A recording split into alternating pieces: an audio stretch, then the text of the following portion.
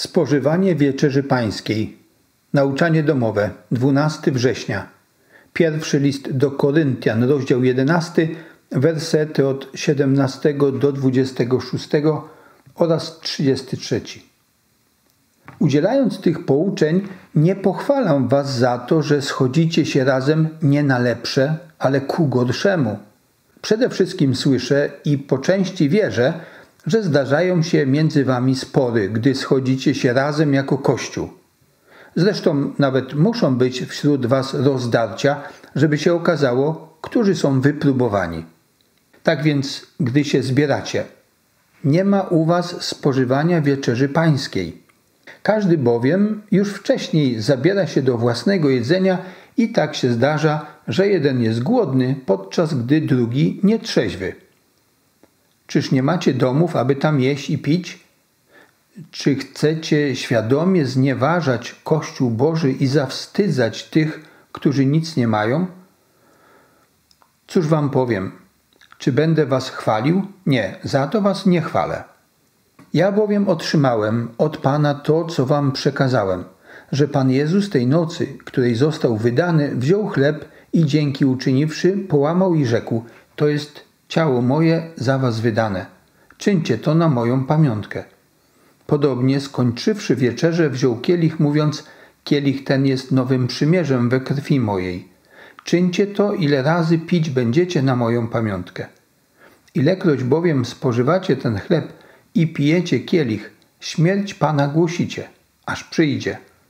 Tak więc, bracia moi, gdy zbieracie się, by spożywać wieczerze, poczekajcie jedni na drugich. Wyraźnie widać, że Paweł wprowadza porządek. Motywuje też jasne zasady stwierdzeniem, że wyraźnie ci, którzy schodzą się razem, nie przychodzą ze względu na Chrystusa. Tak jakby zapomnieli, po co przychodzą. Nie wiedzą, co to za zebranie, co to za spotkanie, co tutaj się celebruje. I wymienia te wady czy grzechy takich zebrań. Po pierwsze, kłótnie i spory. Po drugie, brak wrażliwości na ubogich, potrzebujących we wspólnocie. I po trzecie, pijaństwo. Wprowadzając porządek, zaczyna Paweł od tego, że on przyjął od apostołów polecenie sprawowania wieczerzy pańskiej. Paweł wskazuje na tradycję sprawowania Eucharystii. To już było w momencie, kiedy Paweł się nawraca. Jest to pamiątka ostatniej wieczerzy, a równocześnie obecność Chrystusa. To podkreślenie, że Paweł to przyjął i przekazuje, jest bardzo ważne. Pochodzi to właśnie, co Paweł mówi, co teraz głosi.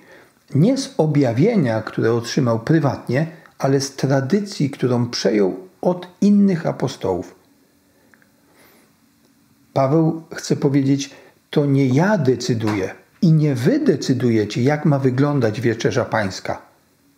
Sobie zrobicie ucztę, sobie zrobicie agapę, sobie zrobicie miły wieczór. To nie o to chodzi.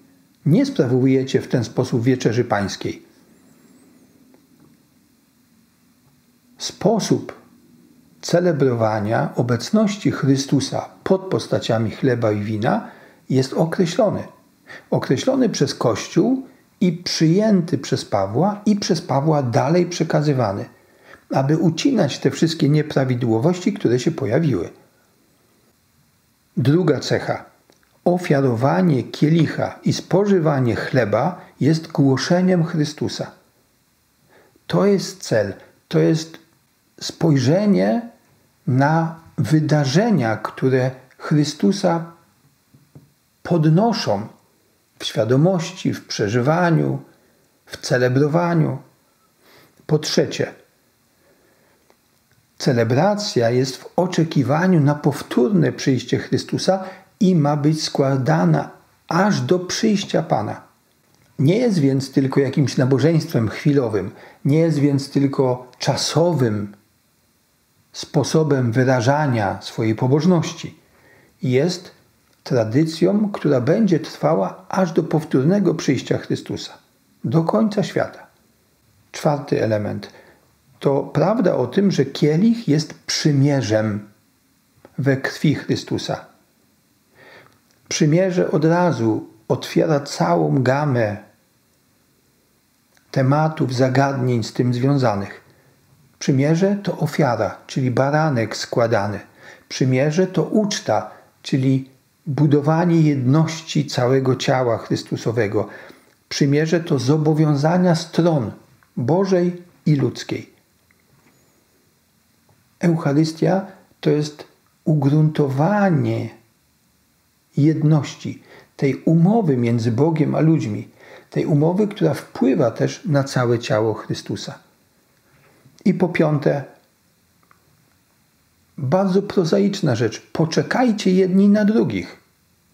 Musi być jasno określony początek i jasno określone zakończenie Eucharystii. To jest całość celebracji, przeżywania. To buduje jedność i świadomość tych, którzy uczestniczą w tej właśnie celebracji. Zadanie dla Ciebie. Jak przygotowujesz się do Eucharystii? Nie zawsze musi to być objawienie, ale czasem to jest tradycja, którą przejąłeś. Świadoma, oczywiście, godliwa, pełna duchowych wartości, ale czasami to przygotowanie oznacza, ja poszczę godzinę przed, ponieważ chcę się przygotować. Nie zawsze mam wielkie natchnienie do tego, ale mam przekonanie, że muszę tam być we wspólnym spotkaniu od początku do końca, jak zaleca Paweł. Świadomy, że jestem częścią tego przymierza, że ja chcę aż do skończenia świata być właśnie w tym miejscu, by głosić Chrystusa. Może trzeba poczekać jeden na drugiego, byście może przeżyli Eucharystię razem, wspólnie, rodzinnie, domowo. Może to jest też wyzwanie dla Ciebie i dla Was, dla Waszego domu. Wspólna Eucharystia. Niech w tym działaniu, niech w tym przygotowaniu świadomości błogosławi Tobie Bóg Wszechmogący, Ojciec, Syn i Duch Święty.